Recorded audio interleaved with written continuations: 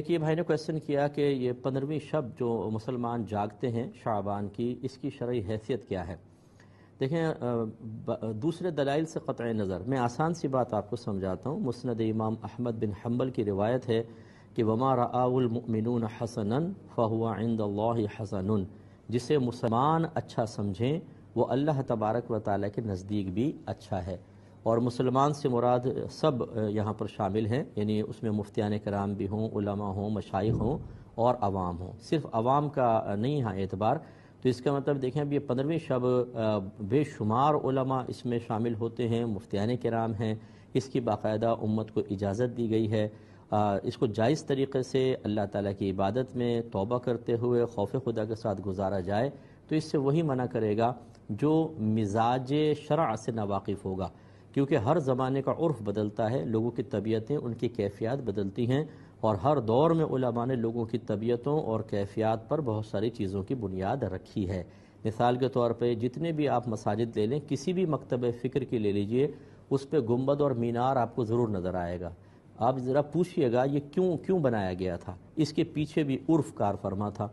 इसी तरीके से कुरान पाक पे ज़बर ज़ेर पेश लगाना, इसी तरीके से मदारस का क़्याम, फिर उनके सिलेबस का इंतखब। इसी तरह हर मस्जिद को आप देख लें, पक्की मस्जिद है, उसकी डेकोरेशन की जाती है, सजाया जाता है। मस्जिद के अंदर मतलब कारपेट्स हैं कालीन कालीन हैं, ये पहले कभी भी नहीं थे, क्यों ऐसा किया गया? तो इसका मतलब ये हुआ कि उर्फ़ बहुत बड़ा किरदार अदा करता है, इसलिए हम गुजारिश करते हैं, जो लोग इसके मना में शिद्दत करते हैं कि खुदारा लोगों को आने दें। लोग तो वैसी मस्जिदों में नहीं आते। हाँ ये मैं ज़रूर अर्ज़ करूँगा कि इसमें खुराफात में हिस्सा लेना वो बिल्कुल गलत है। और ऐसे ही मस्जिदों में आके सिर्फ़ नवाफिल पढ़ के निकल जाना, ये भी मतलब ज़्यादा फ़ायदेमंद नहीं होगा। बल्कि बेहतर ये है कि दरस कुरान का अहतमाम हो, दरस हदीस का हो असलाही बयान हों, ताकि लोग जमा हों। सलात तस्बी के नाम पर जमा कर लें या नवाफिल वगैरह के नाम पर जुग दर जुग लोग आ जाएँगे शौक़ में। और फिर वहाँ अच्छा असलाही बयान हो, ताकि लोग फ़र्ज़ नमाज़ों की तरफ़ आएँ। इन अवकात को कैश करने की ज़रूरत है। इनको ज़ाया करना ये बिल्कुल मुनासिब नहीं है। कौम कभी बाज नहीं आएगी। उसूल शरा आप देख लीजिए। नबी करीम सल्लल्लाहु अलैहि वसल्लम तशरीफ़ लाए। जो रसूमात, जो काम कुरान और हदीस के बिल्कुल ख़िलाफ़ थे, मिजाज शरा के ख़िलाफ़, उन्हें बिल्कुल लिया मिटा दिया।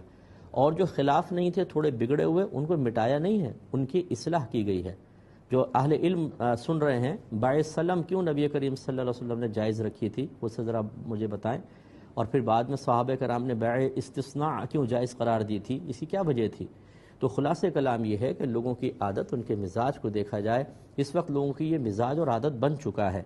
इसको अच्छे अंदाज से डील करना चाहिए ताकि लोग दीन की तरफ़ भी आएँ और तनफ़ुर पैदा ना हो, मसाइल पैदा ना हो। उम्मीद है कि अगर समझदारी से गौर तफक्र किया जाए तो हमारी बात में थोड़ा बहुत आपको वज़न ज़रूर महसूस होगा।